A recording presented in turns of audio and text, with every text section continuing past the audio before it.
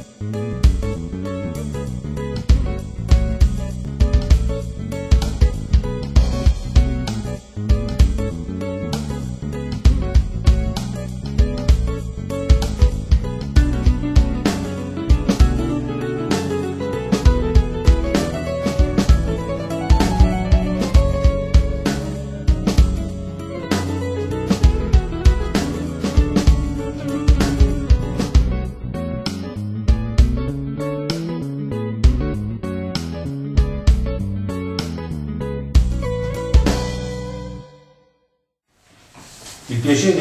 Con noi Salvatore Contessini, eh, I dialoghi con l'altro mondo, un libro complicato, diciamo, un libro impegnativo, quelli che si vogliono proprio trascorrere dieci minuti in piena rilassatezza.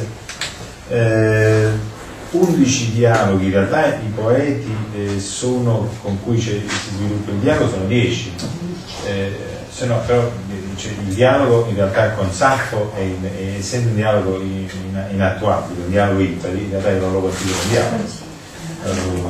Considero il dialogo primo, non è, numerale, non è numerato il dialogo impari, sono 11 salvo Saffo che è un dialogo impari, sono 10 più. Eh, 11 poeti, eh, se no di anni di eh, che sono oh, anche Sapo, ovviamente la figura di Sapo trascende nella, nella mitografia. Quindi eh, questo è il motivo per cui è, è, è denominato impari. E poi c'è un, una seconda, una seconda motivo. Una seconda. Poi... Eh, tu ci illustrerai gli unici come le hai scelti, perché le hai scelti. Sì, e poi facciamo delle piccole letture. Però prima ci racconti un po' il libro. Il libro appunto sono questi undici dialoghi, eh, di cui appunto uno impari, quello con Saffo, con Carlo di Pestette. Eh, questo ha origine ovviamente, l'ho letta la tedesca, ma eh, credo che vada letto la tedesca. Sì. Ehm, Georg Trakl eh, Antonia Pozzi, molti non, mi sono totalmente sconosciuti, altri un po' più conosciuti come Annie Sexton, eh, Cesare Pavesi ovviamente conosciutissimo, Amelia Rosselli conosciutissimo, eh, Stefano Coppola meno conosciuto, eh, Nadia Campana molto brava, anche lei meno conosciuta, che ha pubblicato con Procetti, però pochi sì, sì, pubblicato con Procetti, Salvatore Toma, eh, che è un nome e cognome peraltro molto saliti. Noi abbiamo un nostro amico avvocato di Benevento che si chiama Salvatore Tomo, infatti quando l'ho detto ma mi sembra che ancora vivente, infatti ho visto che era più risalente. Eh, Claudia Ruggieri, che è poi l'ultima ehm, del, eh, dell'elenco dei dialoghi.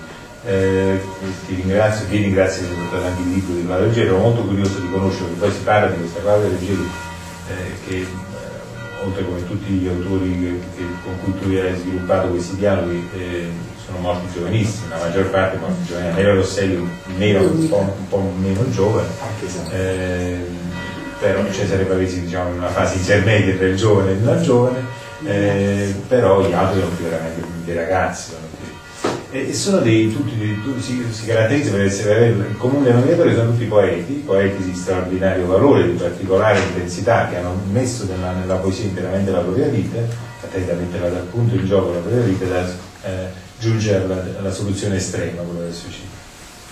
Oggi parlavamo con all'università nel mio corso di letteratura di Wallace eh, e parlavamo di, di, di, scrittori che hanno vissuto uh, ugualmente questa condizione di di esclusione, di isolamento, di poi c'è tutto un discorso, io lo citavo ai ragazzi, c'è Giovanni che era presente al corso oggi, eh, che hanno vissuto anche questa condizione di esclusione eh, come una condizione eh, di esclusione eh, sul, legata anche alle, alle, condizioni di genere, quindi ci sono anche molte altre questioni. Alcuni di questi poeti eh, avevano per alcuni aspetti delle condizioni di genere, eh, penso allo stesso Pavese che aveva una grande solitudine emotiva, è sempre vissuto nella casa dei genitori, figura agiata, tu lo ricordi bene, nella, perché poi il libro si conclude con le biografie di tutti questi, di questi e ringraziamo anche eh, Salvatore di averci ricordati tutti con dei tratti caratterizzanti per le loro note biografiche. Questo è importante, perché poi conoscere anche le vite di questi ragazzi e di questi straordinari interpreti letterari del nostro tempo è un elemento che avvicina, che ravviva no? e rende più, ehm, più forte la possibilità di empatia che è poi quella che ti fa leggere queste pagine eh, con particolare intensità. Io devo dire, quando dopo ho finito di, di, leggere il libro, quello che mi è venuto poi, poi lo leggerò alla fine, però sono tre piccolissimi frammenti sull'amore, perché secondo me questi, eh, tutti questi autori sono legati da un tema, da un tema di amore vissuto, di amore negato, eh, anche quando ci sono in qualche modo eh, alcuni autori, penso a Salvatore Toma, che hanno un rapporto molto stretto col tema della morte. Ehm, questo tema della morte io lo, lo, vivo come un tema di sottrazione al tema dell'amore. Ehm, e devo dire, non so perché poi alla fine ho scritto questi tre piccoli frammenti dell'amore che, vi leggerò alla fine. Stavo in una stanza da letto, un po' come Cesare Palizzi, però non ho fatto la scelta di Cesare Palizzi. Eh, che poi è morto a Torino Cesare Palizzi, una stanza che si chiamava Hotel Roma, Hotel Roma, Roma sì. a Torino si chiamava Hotel Roma. E, e, e, devo dire che il, il peraltro c'è tutta una, una, serie di racconti intorno a quell'ultima notte di Cesare Pavese, ma questo non voglio affrontare questi argomenti che ci porterebbero molto lontano. Eh, la cosa che però mi piacerebbe eh, ricordare è che tutti questi undici eh, poeti hanno un tasso di eh, letterarietà molto forte. Non leggeremo, quindi avremo, eh, abbiamo poi eh, Rita Vacilio, straordinaria poetessa sannita, eh, di eh, Sannita per le sue origini, Sannita ovviamente non limito alla dimensione Sannita le sue qualità, quella avete già conosciuto in altre occasioni, tra l'altro è stata una mia, io eh, mi vanto di essere il primo che ha eh, analizzato le poesie di Rita, il primo che le ha commentate, il primo che ha scritto una prefazione delle poesie di Rita, quindi mi vanto di, di averla aiutata a pubblicare, quindi mi vanto di essere stato lo scopritore di Rita.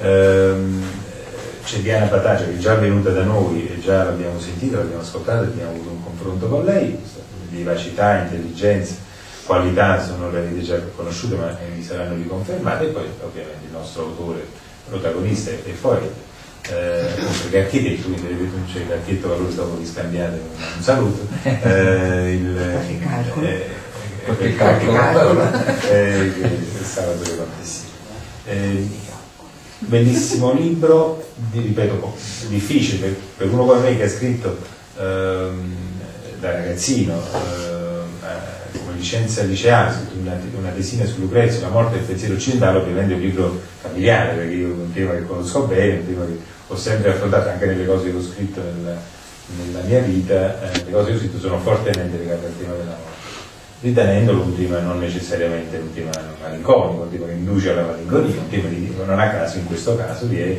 proprio nel caso del dialogo con l'altro mondo di un dialogo tra persone che ci sono e non ci sono. Questa fondazione è un dialogo tra persone che ci sono e non ci sono. Mio nonno non c'è più dal 93, però negli ultimi vent'anni abbiamo fatto tante cose con lui, abbiamo fatto tante cose per lui, tante cose continuano a essere grazie a lui. Molti degli amici che io ho, ritrovato, che ho scoperto, eh, quelli nuovi, eh, Teresa, eh, Angelo, ma quelli che esistevano già, che Piero Pes, Rosa Maria, Gianfranco, Camillo non lo consideriamo, eh, Lina, non lo sono mai perso, lo tengo proprio sul conoscere della prima ora, nella prima ora, quindi può essere più figlio. Quindi c'è questo dialogo anche familiare che continuato, che è rinnovato, quindi evidentemente la morte non è un'interruzione, e non è interruzione soprattutto quando la morte è il, il testimone. Eh, non c'è più, è un testimone letterario, quindi poi la sua opera letteraria si rinnova, rientra, rientra nelle, nella linfa vitale di un altro poeta, come in questo caso nel dialogo di Salvatore. Quindi io mi fermo qui, eh, non so chi, chi da Diana, diamo a Diana un po' la parola, perché ovviamente è la vita felice, la, la casa editrice, quindi Diana sappiamo chi è, perché già ce l'ha raccontato quando è ciao, e, e quindi eh, il piacere di avervi qui con noi, di riavervi per Diana di avervi qui con noi a. Facciamo un applauso benvenuto a tutti. Io colgo questo applauso che vi riporto perché comunque è sempre un piacere vedere un pubblico eh, numeroso e partecipe, visto che eh, Milano, da cui vengo e dove ha sede la casa editrice appunto La Vita Felice, ultimamente sta diventando un po' poco generoso, devo dire, negli incontri di poesia. Ma anche in altri incontri letterari. Interrompo, mi hanno detto che a Roma, non so chi mi ha raccontato, che hanno fatto una uh, presentazione dell'ultimo libro di Arbasino. Sì, certo. Guarda, grande spessore, sì. non è Quanti poi, erano? si può avere, Sì. erano 12 persone. È 12 tanto, persone, eh? eh, eh, sì, noi quando abbiamo presentato il libro di poesie, sai l'antologia di poesie, quella in cui stanno anche le mie 10 poesie, credo che stia da quelle parti. Un, un libro con un'antologia di poesie, un'antologia della poesia italiana, di spagnolo. Sì. C'erano 50-60 autori. Lo presentavamo a Napoli, vennero in, in importazione napoletana Angela e altri amici che venivano da Napoli, erano 6-7 della fondazione, eh? con i 6-7 della fondazione arrivavamo a, a quindicina. Sì. Erano 50-60 autori del libro. Sì. 15 E questo persone presenti, c'è un po' 6 di persone che facevano i relatori, c'erano più relatori che le persone. Se ne aveva letto dei telesini, E questo è un po' un dispiacere per chi organizza, per chi crede comunque che proprio attraverso questi incontri ci sia una possibilità maggiore di diffondere, di, di- di portare a conoscenza, di vivere quello che è il messaggio poetico, perché non dimentichiamo che appunto all'origine la poesia era solo orale, per cui questo è un momento in cui si incontra la poesia con una vibrazione diversa che poi uno possa portare a casa il libro e quindi continuare a, a tradurre, a vivere un'emozione che magari ha solo percepito nel momento della presentazione è cosa che noi ci auguriamo anche da un punto di vista editoriale ovviamente, però questa fruizione dell'ascoltare direttamente l'autore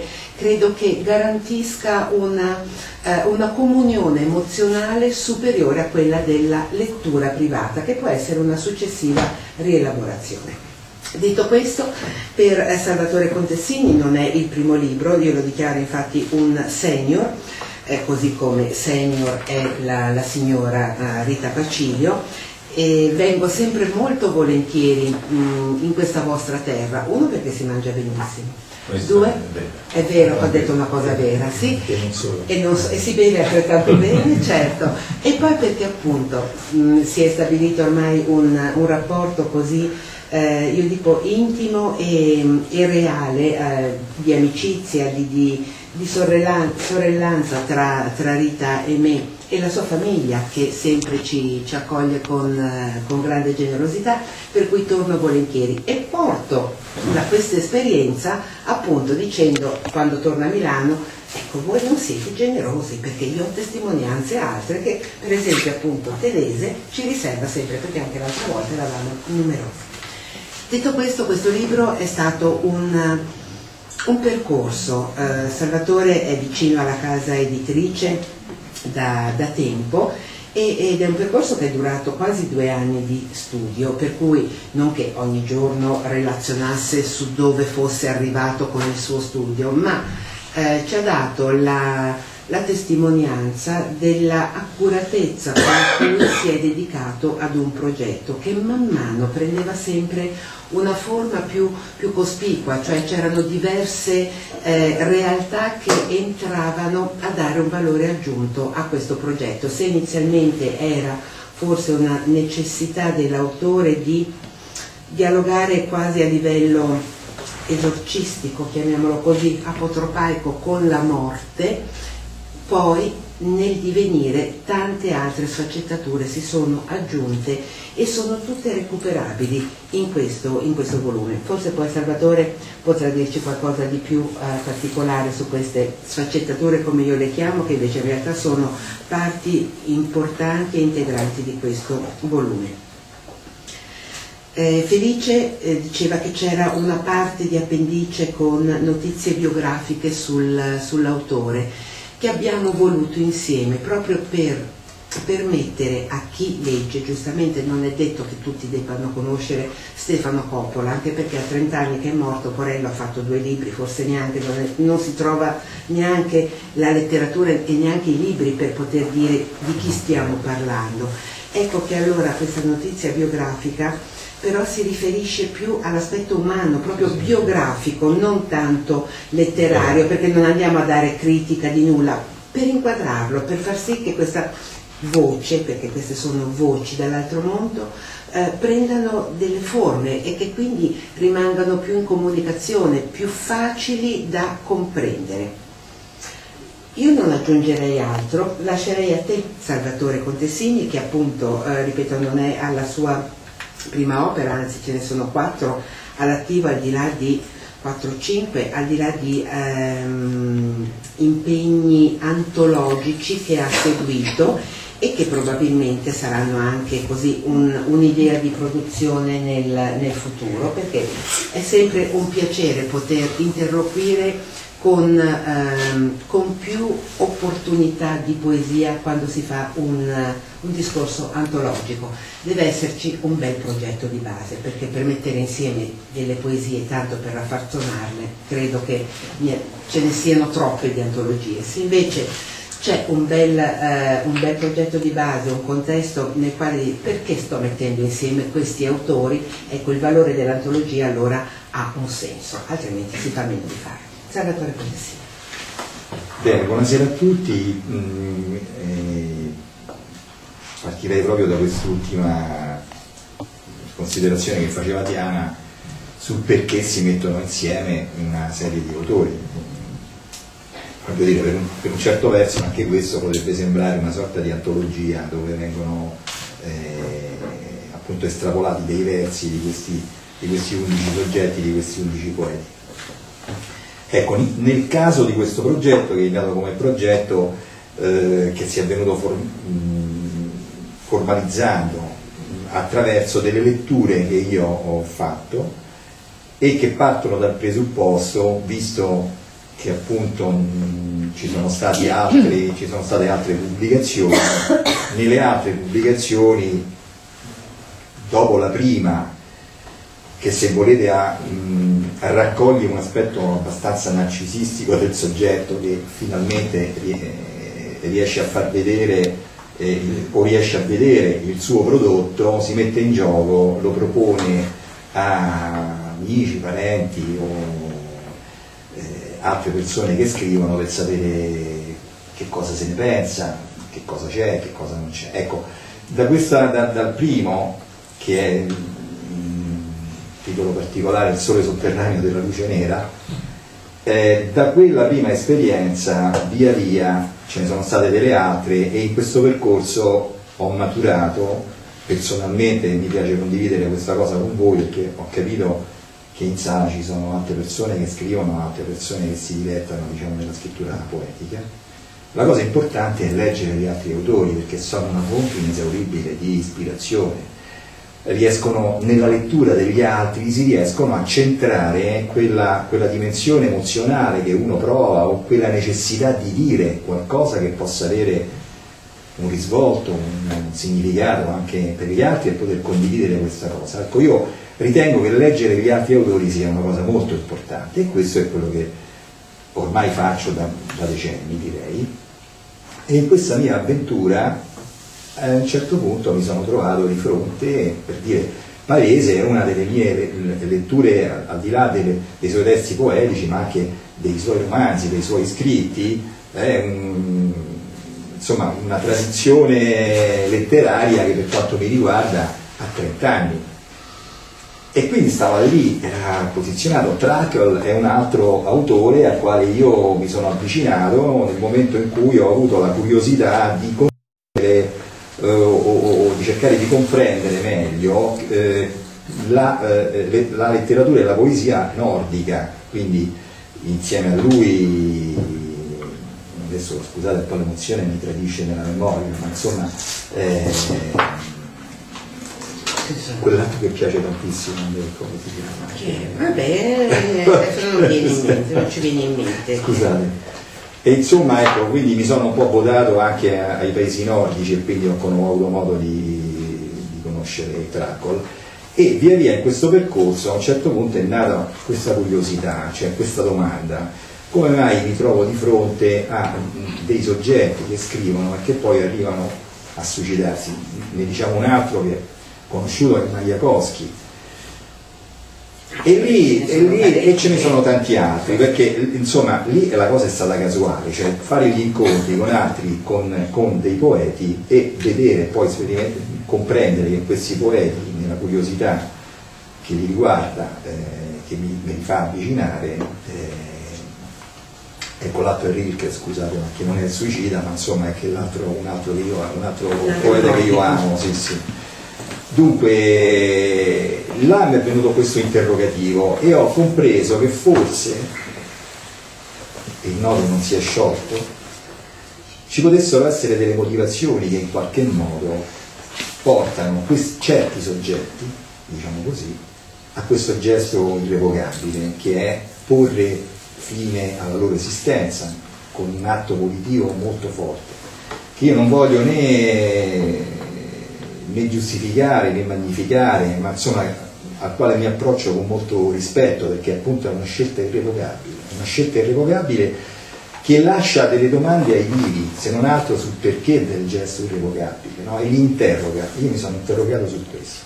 Ecco, questa è la motivazione eh, principale eh, che mi ha portato a maturare il progetto e a dire bene, voglio fare questo tipo di esperienza, vedere se c'è questo filo rosso o scoprire, ecco, non vedere, scoprire se c'è un filo rosso.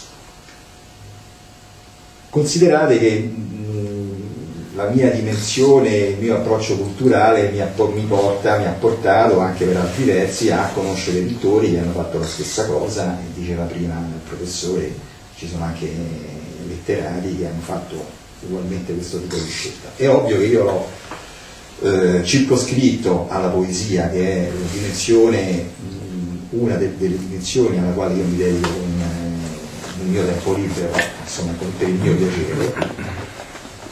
E quindi ho iniziato a selezionare e nel, nel fare la selezione ho iniziato a leggere, perché io ho impiegato non due anni, più di due anni e mezzo, perché in realtà io ho letto delle biografie fondamentalmente, oltre a conoscere alcuni versi di alcuni di questi, di questi autori che io propongo, ho letto delle biografie, ho letto delle biografie anche di mh, altri eh, autori o autrici, po eh, poetesse, che non sono riportate perché io non sono riuscito a creare, a creare dentro di me quel rapporto empatico che mi ha consentito eh, un pochino di più, io ritengo, con, con, con immodestia, eh, di entrare in sintonia con lo scritto di, di chi propongo.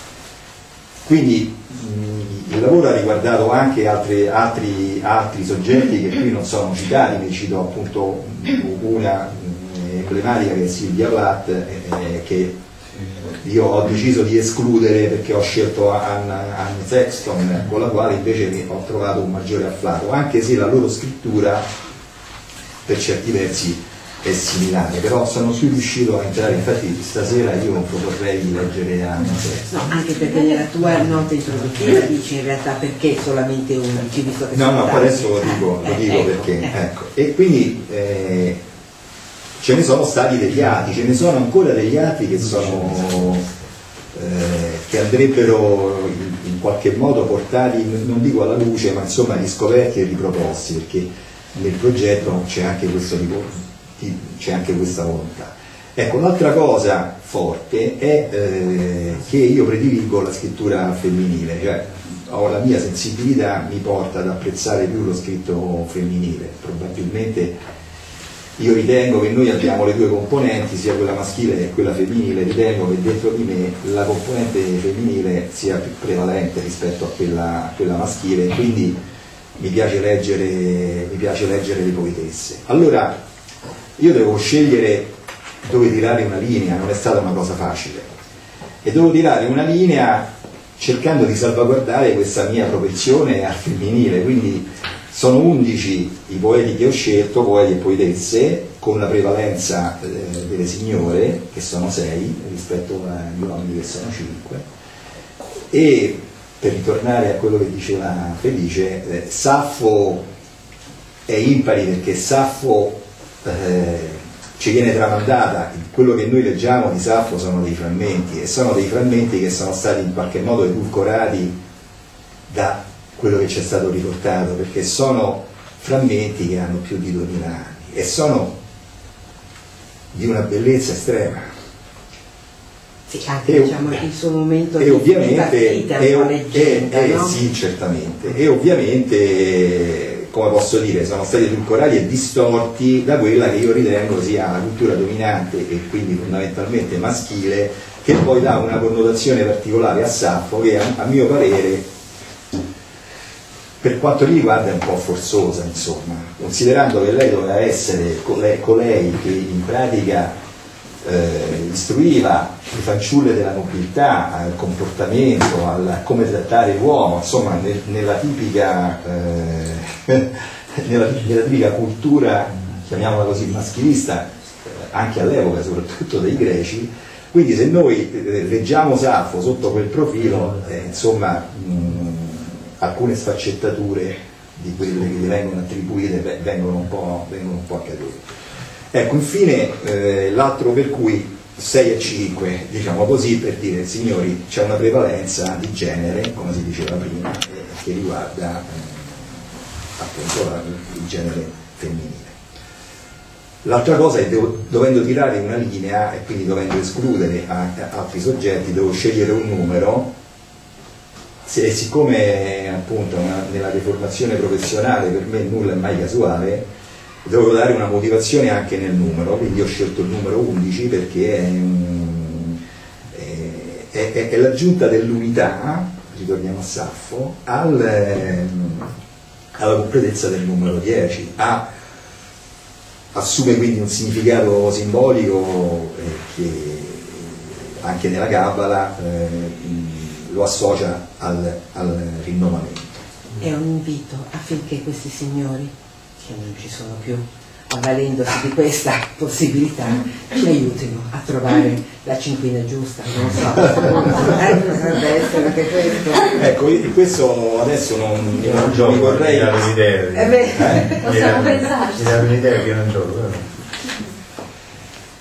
Quindi adesso spero di aver eh, anche velocemente ecco, eh, delineato qual è il progetto che poi dopo mi ha spinto. Ecco, l'altra cosa ovviamente ho cercato di essere, di sprovincializzare un po' questa, questo progetto, cercando di inserire eh, poeti e poetesse che non sono italiane e dall'altra parte di non rifarmi per esempio a Magliakowski che ormai nello scenario della, diciamo, della cultura di base, bene o male tutti quanti conoscono, anche se solamente per sentito dire, mentre invece ci sono altri soggetti che meritano, so, come appunto quelli che sono stati citati, e in particolare ho cercato di riferire eh, di, eh, di, creativi, di artisti che sono un po', un, po', un po', più recenti, un po' più vicini diciamo, al nostro, al nostro, al nostro vissuto, al nostro, alla, nostra, alla nostra contemporaneità, anche perché nel tutto la mia volontà era quella anche di fare una sorta di riproposta no? e di andare a sentire, ad esempio Carl eh, Michael Stadler eh, per me era un nome indicibile e una conoscenza molto superficiale, invece sia leggendo la sua biografia che leggendo poi i suoi testi mi ha molto coinvolto, quindi io ne ho trovato un arricchimento, mi ha coinvolto perché lui tratta il tema del, del mare, che è una dimensione alla quale io sono molto legato e molto, molto affezionato. Volevo aggiungere per chi poi lo vedrà perché c'è chiaramente sì, anche una forma, una forma grafica. Ecco. Sì, quindi eh, qui spero, non vi voglio tediare ulteriormente, però volevo dare eh, dei riferimenti sul progetto perché appunto il professore diceva ha una, sua, ha una sua complessità, però non deve spaventare perché invece è molto semplice. È molto semplice, ne fate riferimenti appunto a quei cenni biografici probabilmente e con queste cose che io vi ho detto eh, chi legge o chi vorrà leggere insomma, si avvicina un po' al vissuto di, eh, di queste persone che poi magari potremo entrare nel merito ma forse lo farà anche, lo farà anche Dicevo, e, e, e, lo dico, lo dico. Sì, e quindi per, per, aiutare la lettura eh, praticamente tutto bandierato a sinistra il, il, libro funziona in questo modo. Ci sono io che sono eh, l'autore che, che si chiama l'interrogante colui che pone la domanda. E poi c'è la risposta da parte del poeta vero perché io non mi considero un poeta, ma insomma diciamo un autore, e lascerò, come si dice, ai vostri l'acqua si apprezza, e quindi il poeta e i versi del poeta sono generalmente centrali e sono in corsivo, quindi tutti i corsivi sono testi originali del poeta o della poetessa. In più c'è un artificio, eh, ci sono degli inserimenti nella parte centrale che non sono in corsivo e ovviamente sono eh, eh, normali, utilizzando il carattere normale, che sono i miei versi che eh, cercano in maniera banditesca di spacciarsi per la risposta che dà invece il poeta. All'inizio di ogni testo c'è un incipit con il nome dell'autore o, o, della poetessa con cui si entra in dialogo, per cui sono tutte chiavi di lettura che agevolano poi la fruizione del, del prodotto.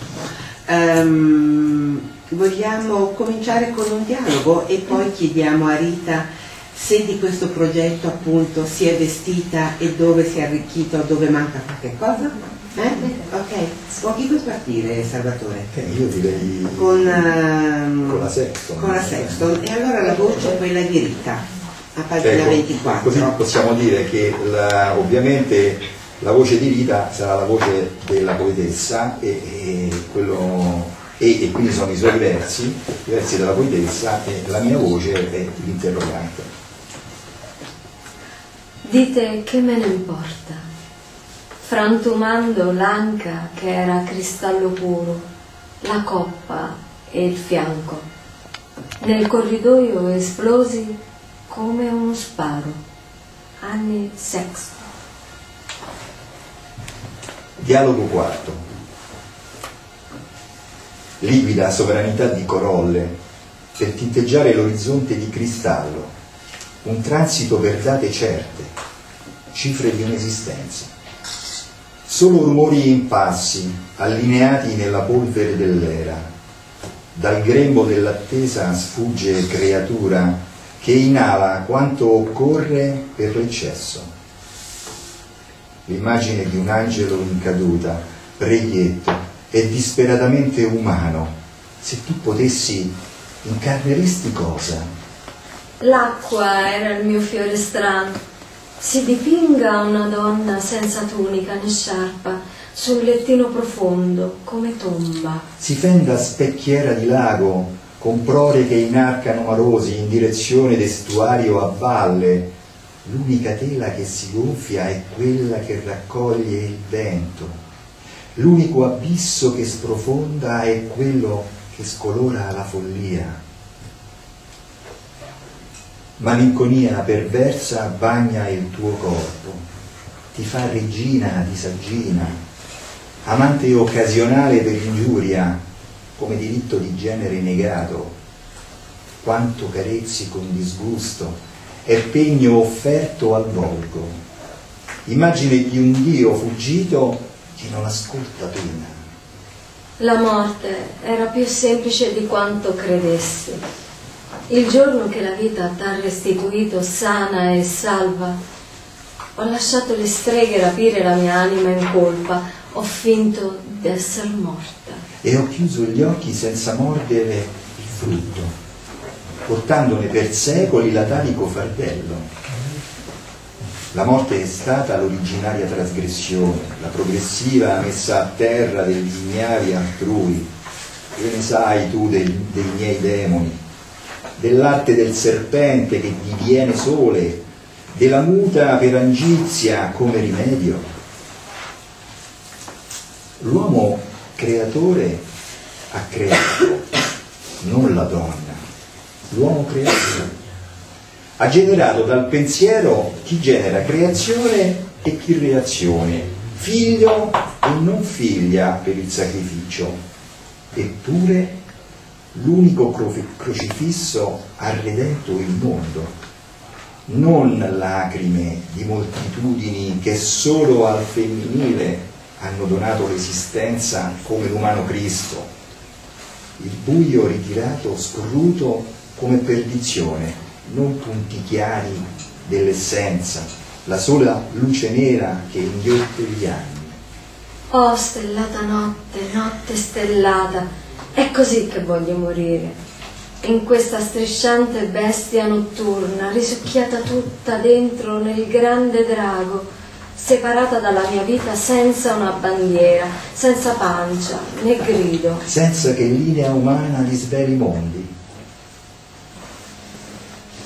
Ho forse da graziare l'assenza rotolante a cui abitua la giornata intenta, dopo passaggi dalla soglia che affaccia l'oltre, ma il vuoto lento si riempie, liquido di lacrime filiali, sempre più rare nell'aspetto del dolore, ricche del sale dei ricordi. Tutto ciò è morte. Nella mente vi è un esile vicolo chiamato morte ed io mi muovo lungo di esso come nuotando nell'acqua. Il mio corpo è inutile. Abbandonate rimangono domande, curiosità che rimarranno tali fino all'istante riservato in cui la porta si dispone per trapasso. Dove vai quando una vita finisce? La vita per cui hai dato tanto. Grazie. Una nota, eh, molto spesso nel testo, in apertura o durante lo svolgimento del testo, vengono dati degli indizi dall'autore su come, come il poeta con cui sta interrompendo si è tolto la vita. Già qui in Anne Sexton troviamo in ala, dunque dov'era il quarto? Sì, il quarto, ecco, parlava di qualcosa di inalato, ecco, e quindi, e quindi se poi uno va a leggere la piccola notizia biografica trova il come, così come per Michestetter c'è rivela il piano antecedente al piombo e lui si è sparato, quell'altro porello invece si è dato un'overdose, allora abbiamo eh, il sonno in dosi, cioè ehm, lo racconta, c'è come è successa questa cosa, non è che uno non, non ne possa essere toccato, perché comunque il testo aiuta anche questa identificazione, quindi sempre per avvicinare, ravvicinare queste due entità poetiche. Rita. Infatti allacciandomi Innanzitutto ringrazio tutti, ringrazio Felice per l'accoglienza e soprattutto per essere il mio scopritore perché io sono mm, grata ma non solo, sono onorata di aver avuto le sue primissime prefazioni ai miei primi due libri e soprattutto il primissimo libro a cui sono affezionata tantissimo che ha vinto anche un premio nazionale, quindi insomma abbiamo avuto anche un bel risultato. È un libro che mi ha dato la possibilità di entrare veramente nella poesia. La poesia è stata per me un, appunto un, una, un ingresso, una, una grande porta in cui ho trovato la possibilità di mettere a fuoco tutto quello che poteva essere stata la mia esperienza qui, diciamo, sulla terra, ma anche l'esperienza che ho fatto nella, nella premorte. Perché questo libro mi ha tanto colpito?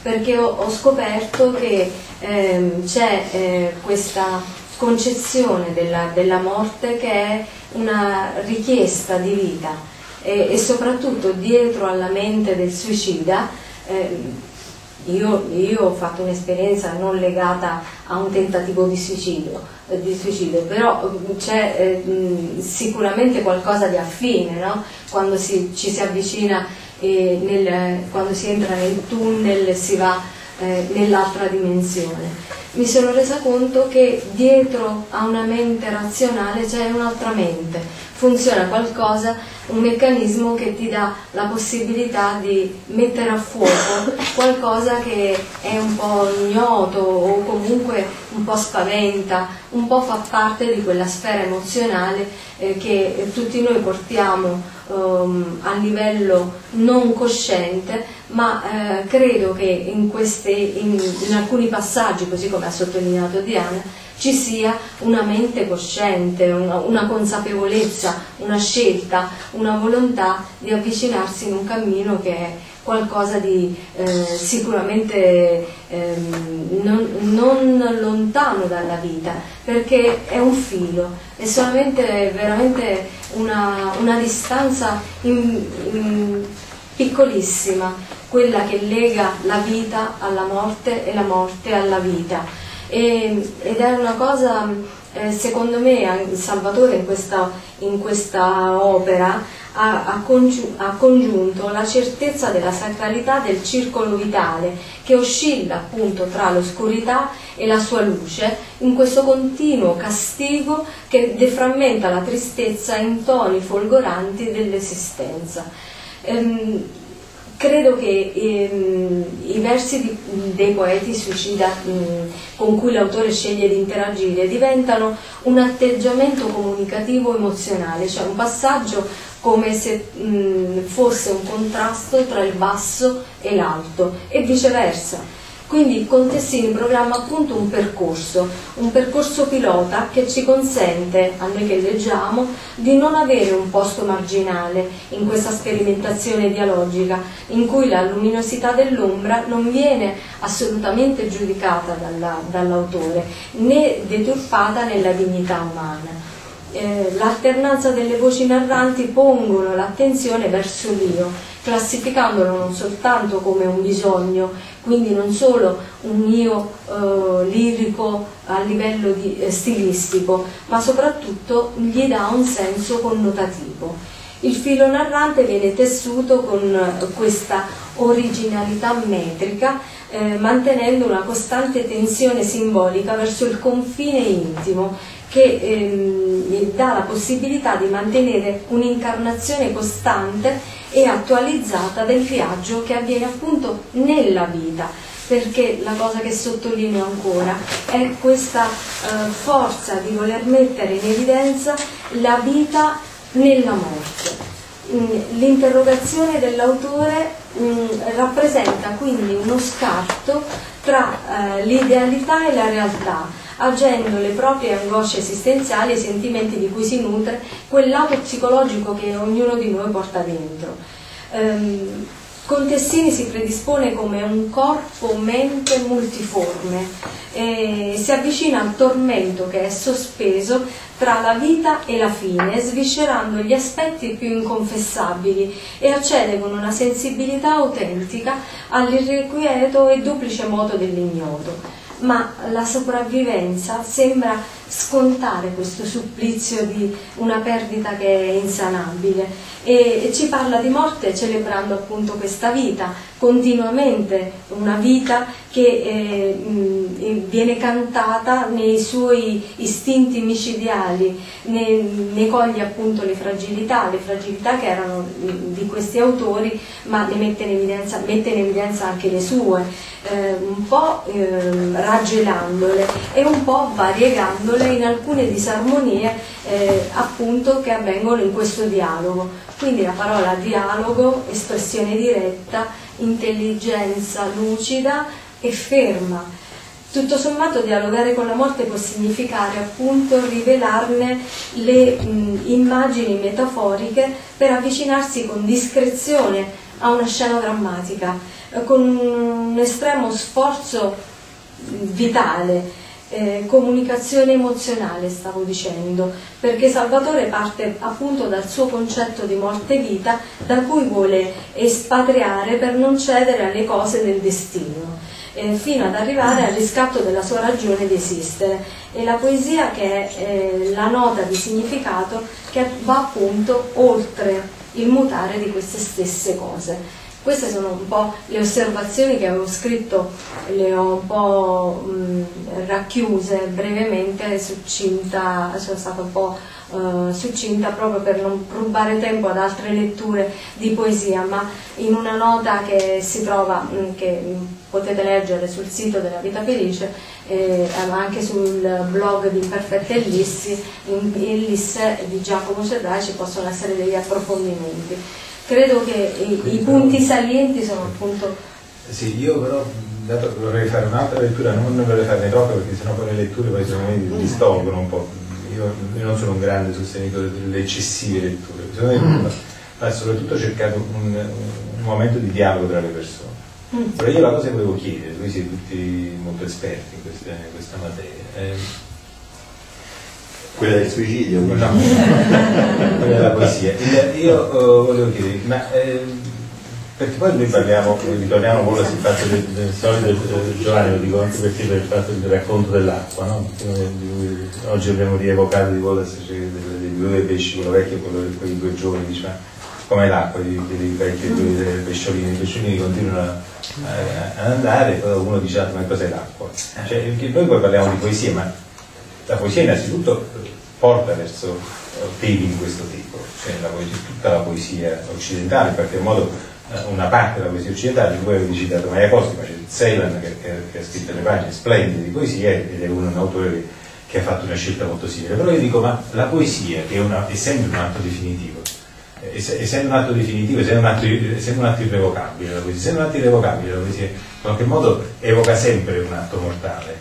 Eh, ma che cos'è la poesia per voi? Vogliamo provare a dare una. No, non, non, non, cadiamo anche nell'ovvietà. Eh? Cioè io vorrei ricordo quando tanti anni fa si parlava del femminismo e andai a vedere uno spettacolo di Nacia Maraini sul femminismo e mi disse la persona che stava con me che lo vedeva dicendo queste sono delle ovvietà Dissi, ma perché le ovvietà non sono delle verità? Cioè, non, le possiamo, non, ne possiamo parlare perché le verità, le verità, sono necessariamente, le verità più belle sono necessariamente ovvie. Eh, poi ci sono altre che non lo sono per niente, però diciamo, eh, io vorrei partire da un, poi leggiamo il dialogo, un dialogo che scegliamo, cioè no, io sceglierei Pavese perché poi mi piace l'idea che evochiamo Pavese, però per voi, tutti, tutti e quattro, cioè io per, per ragioni diverse da voi, eh, lavoriamo, ci, ci, confrontiamo con i poeti, ci confrontiamo molto con la poesia, parliamo della poesia, la presentiamo, qui sono sette anni che qui facciamo tutti i mercoledì incontri in cui la maggior parte sono di carattere poetico, con il compiacimento di alcuni e con la dispiacenza di altri che stanno là in fondo, infatti si è anche un po' isolato. no, dico, il, dato, eh, eh, io parliamo di una cosa, che cos'è l'acqua? Eh, cioè intesa come acqua poetica. Eh, stiamo parlando di poeti, questi tu li hai giudicati, li hai valutati, li hai scelti, li hai sentiti, li hai avvertiti, li hai proposti, ci hai parlato, eh, ma che cos'era per loro la poesia? Cos'è per loro la poesia?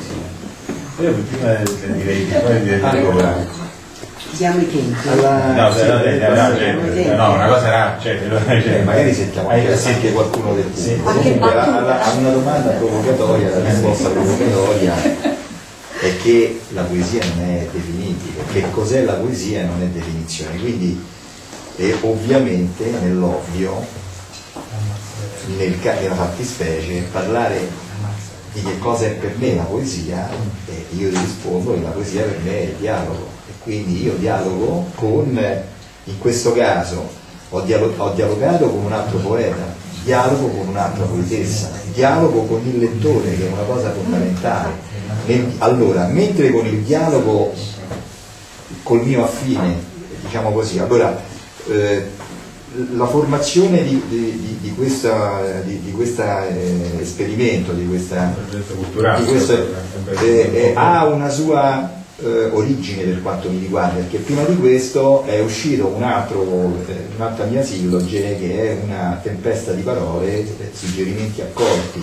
Là la funzione è questa, che ogni, eh, ogni poesia che io eh, propongo nasce da, eh, da, versi di persone che si dilettano come me, viventi, che si dilettano come me in poesia e che in qualche modo con me hanno interloquito o perché hanno scelto una, mia immagine, una delle mie foto per illustrare le loro poesie o perché hanno chiesto, mi hanno chiesto di fare la prefazione piuttosto che la postfazione o perché mi hanno proposto di eh, leggere e di dare dei suggerimenti. Quindi intanto per me, quindi eh, vorrei chiudere senza appunto essere prolisso, no? che cos'è la poesia? Allora è sicuramente una sorta di comunicazione che si avvale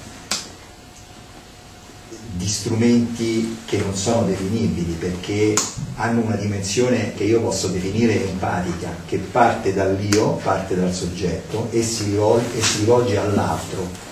Rivolgendosi all'altro tenta di eh, costituire il noi.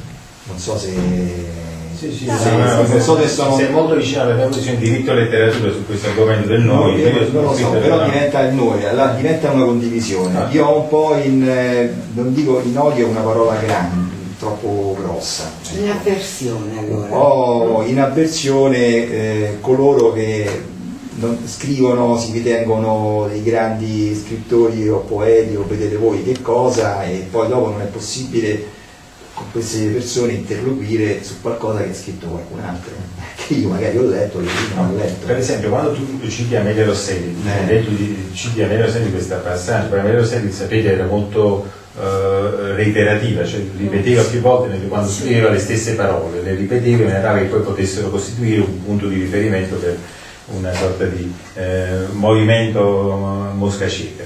Eh, quando dice cara vita che mi sei andata perduta, con te avrei fatto faville se solo tu non fossi andata perduta. Eh, eh, ecco, eh, noi possiamo giudicare questo un, un, un, atto poetico, un gesto poetico, questo di Amelia Rosselli, secondo me lo è, ma lo è per il fatto che Amelia Rosselli con questo gesto che è stilistico, ovviamente prima ancora che di contenuti è un gesto stilistico, eh, nega il presupposto, come diceva un attimo fa Salvatore, nega il presupposto da cui parte eh, quindi in qualche modo ti metti dinanzi alla contraddizione intrinseca, per cui la, la poesia ti mette dinanzi a questa contraddizione intrinseca della contraddizione del vivere. Eh, e perciò che per me la poesia è sempre un atto che ti porta verso uno specchio, quindi porta verso lo specchio e ti dà un'idea della morte, sempre ti dà un'idea della morte, comunque ti dà un'idea della morte, ma quando parla di cose totalmente diverse dalla morte, mi dà un'idea della morte. Io almeno l'ho sempre detta così, l'ho sempre continuato a esercitare così. Eh, lo senti è, è, me, il femminile perché poi se no il maschile giustamente tradisce il presupposto di Salvatore io sono d'accordo sul fatto che è difficilissimo dare una definizione di poesia però una poesia la riconosci. Questa è la cosa bella che qualunque eh, persona anche non eh, preparata non dentro la poesia comunque di fronte alla poesia assume un atteggiamento di stupore, di meraviglia, di forte emozione. Quindi una poesia si riconosce. Per me la poesia è l'osservazione del reale. Il poeta è un visionario, è colui che comunque guarda il mondo intorno e ne fa uh, una, mh, una lettura, una rilettura. Sostengo che il poeta abbia un terzo occhio, quello della sensibilità ehm, che può mm, entrare a far parte di un, un modo anche di vivere. Eh, molti, molti, poeti hanno la, la capacità di, essere, di, avere un corpo poetico, di avere anche di, mm, di, trasferirlo anche sul corpo professionale, per esempio, di essere così anche nella vita del lavoro. Diciamo, sì, perché la poesia la, la, rappresentano anche nel, nel, modo, nel, modo, di essere. Eh, quindi è un'osservazione di quello che c'è intorno, non a caso eh, della, nella poesia si è già detto tutto, nell'arte si è già detto tutto, eppure eh, si continua a, ad osservare con, con, questo terzo occhio, con una uh, uh, nuova frequenza e, e in una collocazione storica completamente differente, guardando la, le stesse cose ma rappresentandole in modo secondo me. Eh, rinnovate e originali anche e poi poesia perché deve essere studio, metrica, eh, rigore, eh, c'è comunque una tecnica da seguire che secondo me è fondamentale nel tuo cantico, il jazz, ne sei veramente tanto. Eh, io non sono una poetessa, io leggo tu poesia. Leggi, io leggo poesia. Allora, vengo... una poesia sì, poesia no. Ne arriva eh, parecchia, arriva tanta, troppa. Ah. Eh, nel senso che il, il, troppo vuol dire che eh, chi decide di comunque ehm, portare in una casa editrice i propri, i propri scritti è perché ha maturato l'idea che sia tempo che questi scritti vedano la luce, che quindi siano da condividere con un lettore, altrimenti continua a scrivere per se stesso. Ma questo non è sufficiente. Ma questo non è sufficiente. Ecco, perché innanzitutto eh, ci rendiamo conto che molto spesso chi scrive Parliamo più che altro delle opere prime, delle opere d'affaccio ovviamente, non nel caso eh, loro certo. che hanno già maturato il loro stile, la loro eh, capacità di essere partecipi e, e, protagonisti della loro scrittura. Dicevo, eh, ci rendiamo conto che chi scrive non legge, cioè Eh, eh, allora, come si, lo, lo, si vede perché magari un, un, tema viene reiterato e non voglio parlare del solito tema amoroso che indubbiamente continua ad affascinare, a essere motivo eh, di pulsione allo scrivere, però è stato trattato talmente tante volte che si rischia di banalizzarlo se non si hanno gli strumenti e le capacità per rinnovare questo tipo di atteggiamento nei confronti del, del sentimento. Allora, per non essere pallosi, detto proprio così, bisogna o scrivere d'altro o essere molto bravi a scrivere d'amore, perché non se ne può più. E qui torno e mi dispiace doverlo agganciare al discorso di genere, molto spesso sono ancora purtroppo le donne che non si sono ancora emancipate in scrittura poetica a cadere in questa, eh, in questa buca, c'è poco da dire. Perché? Perché si è rimasti forse un po' relegati al, all'idea che la donna ha determinate caratteristiche di pensiero per cui sia più vicina a sviluppare solo e esclusivamente un tema amoroso. E io ripeto invece, le donne devono riconquistarsi e abbiamo finalmente delle punte di diamante che rinnovano questo, questo sentire eh, riconquistarsi la sua legittimità a scrivere e a scrivere di tutto, non solo nello stato di, di eh, poesia confessionale, perché ne hanno la capacità. Eh, questo è. Allora, la... direi di terminare con la lettura di Cesare Pavese. Eh, volevo segnalare al mio amico Giovanni, nell'allievo che oggi della trazione in letteratura parlando di ingiuria e disgusto, eh, il tema del gioia di discusso contenuto in Anne Sexton, che forse hai sentito quando hai letto proprio nelle parole di Salvatore Montessini, c'è la parte amante occasionale per ingiuria come diritto di genere negato quanto carezzi con disgusto e pegno offerto al voto. Beh, ti segnalo questa cosa che abbiamo dato oggi a lezione, come dice una circolarità nelle cose che diciamo nel corso di letteratura di oggi, che è quello che abbiamo, ci è stato documentato. Cesare Pavesi a pagina eh, 27. 27. Però, mm, dato che io non sono bravo quanto Rita a leggere, è vero che Rita è la lettrice per eccellenza, io farei, no, Cesare Pavese non credo si spiace di leggere la parte di Cesare Pavese Rita. No, perché La lettrice di Cesare Pavese no, è Rita. Io, io do solo i saluti finali tu leggi la parte di Salvatore Contesini e lei legge la parte di Cesare Rita mi piace molto. Ti prego di sottolineare la frase che sentirete tra un po' che vale la pena di essere solo per essere sempre più solo. Questa è la, la, sottolineare questa parte ovviamente è più maschile che femminile però ti consegno la sottolineatura della, della frase.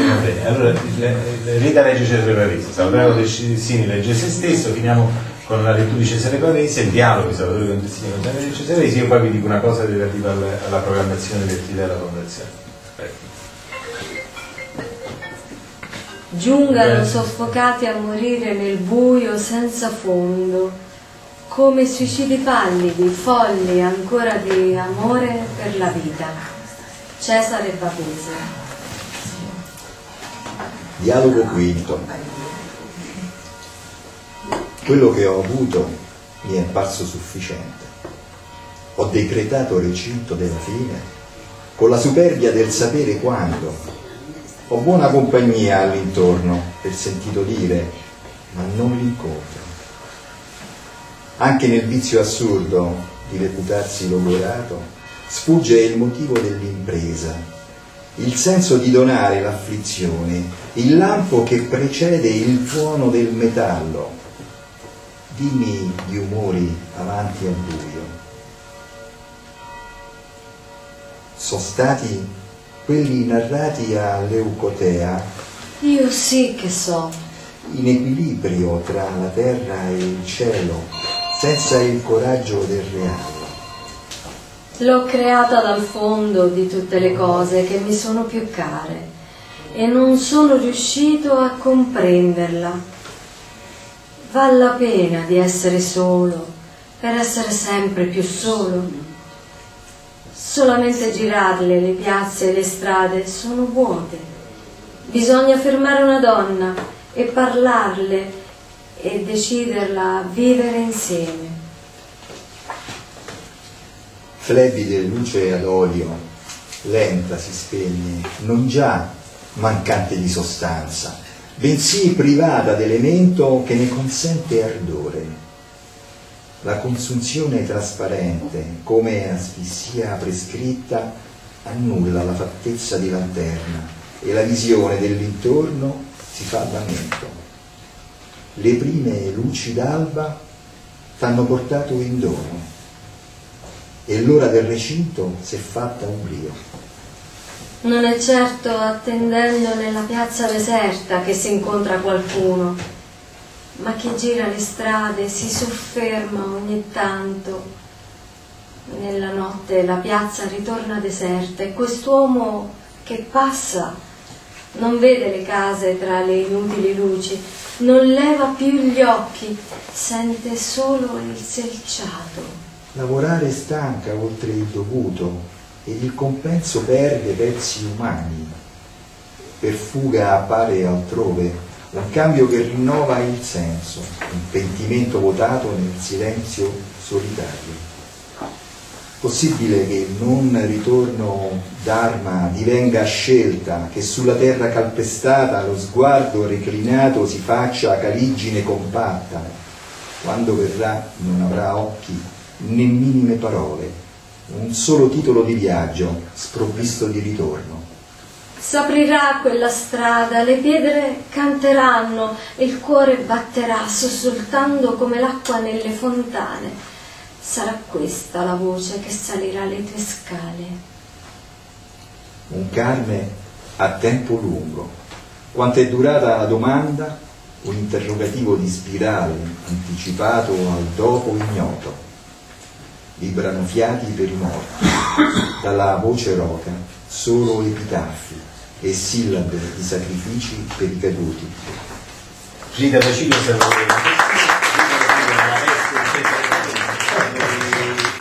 Diana Bertice abbiamo sentito.